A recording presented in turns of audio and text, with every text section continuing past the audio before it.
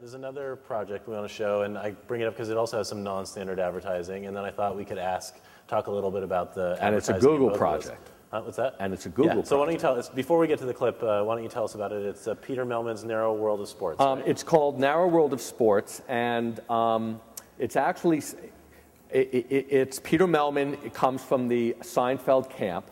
He was one of the uh, senior writers for Larry David um, for a bunch of years. Uh, then actually did a show at ABC after that. And you'll see when you, when you see Peter, he actually has a lot of similarities to Larry in mannerism and look. So he created a brand with us because we're all about brands. We have very little interest in just doing one off shows.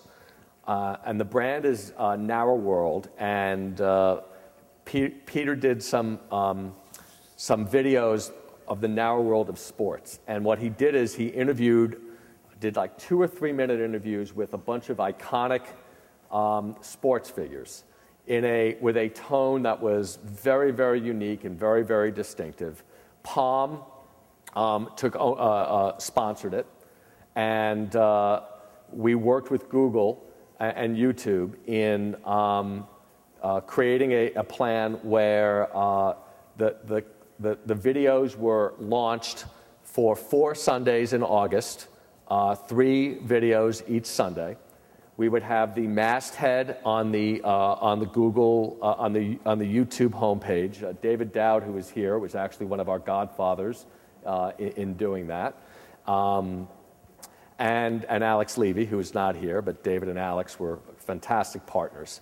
And uh, so we would get our traffic from both the YouTube homepage and the videos would be syndicated out on the Google network uh, through their gadget. And so uh, uh, there'd be a list of sites that, uh, you know, MSNB, uh, uh, New York Times, sports, or wherever the, the content made sense, that's where the, the, the, the, the gadget would, would, would appear with, with the rich media being um, uh, our video show. And it performed wonderfully. I think we ended up doing about a, a million six videos, uh, video views, and uh, the ratings were, I think, among the best you guys have ever had. Every- well, let's take a look, and I should also point out because I know you're supposed to be transparent. Our discussion here with YouTube actually sort of sponsoring this event is actually unintentional branded content. Um, so uh, we sort of unintentionally are talking about YouTube, but I know we're supposed to be transparent even about unintentional things. well, so we spent most of the time talking about Microsoft. There we go, so, all I, think, I think we're safe. Okay.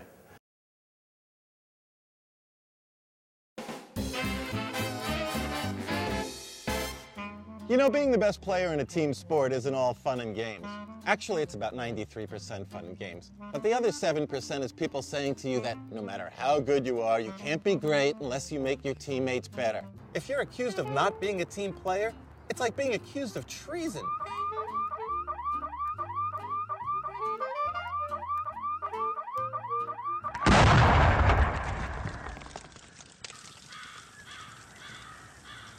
I tried to talk to someone who was accused of treason, but he was electrocuted. So I talked to a basketball player. Well, I'm uh, here. I am. I'm here with um, Kobe Bryant. Kobe, after a playoff game, do you give the referees a bigger tip than you do during regular season games? No, I try to keep it steady. Uh, Twenty dollars, Oh, okay. I pretty see. good. I used to do ten percent, but then I kind of wised up.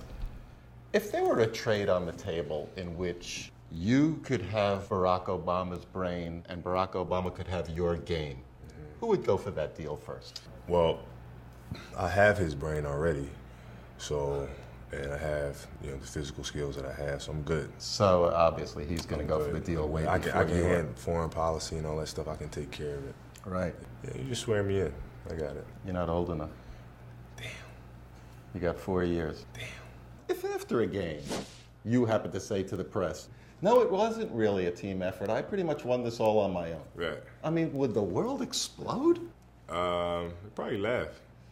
Probably laugh. It'd be funny. You could use that. I could. Yeah. I could. If I do, you know it's Yeah. for you. And if I get flack, that's Yeah. your fault. At this point in the interview, I thought Kobe was getting too attached to me, a little too clingy. So I backed him off a little. This concept of playing for your country. I understand if you played Bin Laden one on one, isn't that playing for your country? Yeah, probably. What would happen if you played him? I dunk right in his face. How many times? Oh, every chance I get. Tomahawk? Oh, Toward the end of the interview, I threw Kobe a bone and let him sit next to me again. You're named after a steak. Wouldn't it be unbelievably cool if you came out as a vegetarian? yeah, yeah, I'd be a hero. Yeah. But no, won't do that. But you know, it's funny because my middle name is Bean. Yeah. If your last name was like Burger, it would be unbelievable. Would that be funny? I always feel like if you score 55 points on 22 of 30 shooting, and the team happens to lose, why do you have to feel bad? I don't. I don't. Do you ever stop in the middle of your day and say to yourself, Holy shit, I'm Kobe Bryant? Nah. nah. So you're used to it. Right. Man, if I were you, I would stop in the middle of the day, like 10 times a day, going, I don't believe it, I'm Kobe Bryant. Don't have that reaction. But it's uh, it's fun though.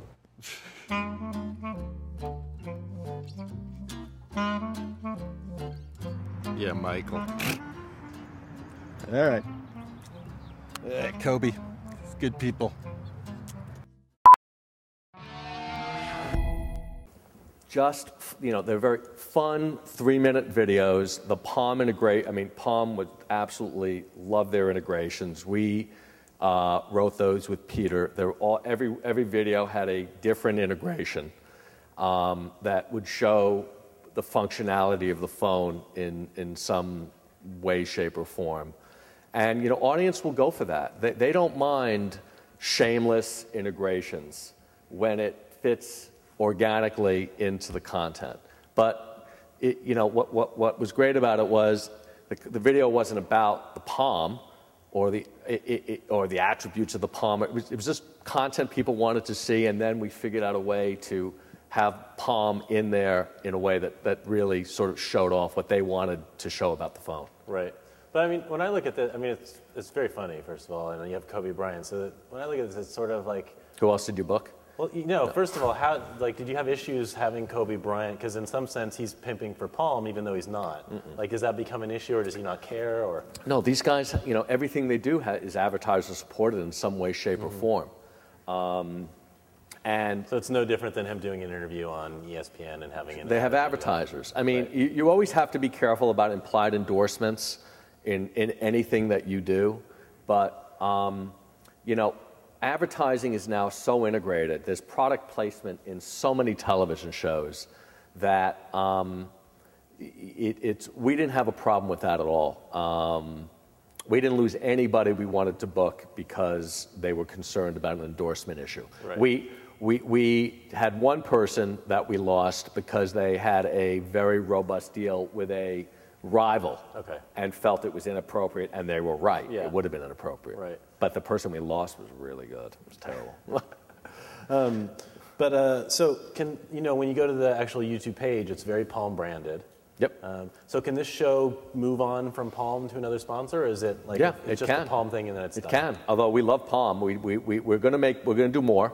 And the brand is, is, is not just going to be Narrow World of sports, it's Narrow World. So you can, you, can, you can imagine the fun we could have in the world of celebrity, in the world of politics.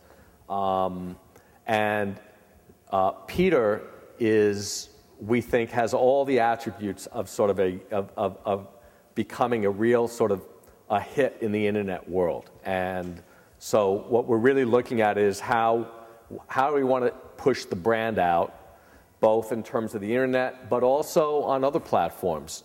How do we want to, you know, we're talking about how we deal with him in television. Um, again, it's about taking a brand and, and managing that brand. And then, in terms of what platform it, it belongs on, that's a function for every brand in terms of what's organic, what makes sense, where is there a business, Right. all of those things. So give me. I know you probably can't talk like budget numbers per episode or anything like that, but Cheap. Is it? I was going to ask you. Is this expensive? Is it cheap? Is having Kobe? Well, we Bryant all made money. We made expensive? money.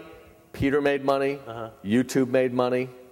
And it was fantastic for And is it a big buy? Is that like a big buy for Palm to do something like this, or is it you know is this a premium spend for them? Do you have any idea? I don't think so. David, was it a big buy for them? Well, it's part of their, part of the launch of the new product. Sure. So if you look at the total uh, media dollars they put behind it, I mean, this is probably their biggest internet um, foray into the internet, but compared to what they were doing across all of their media channels, Right. it's been fortunate. Let's put it this way. If you spent, uh, if you bought two 30-second spots on two highly rated shows of any television series, you would spend more money than, than all of this cost, hook, line, and sinker together. I mean, it, Okay. it, it's, so relatively speaking, it's very, very inexpensive.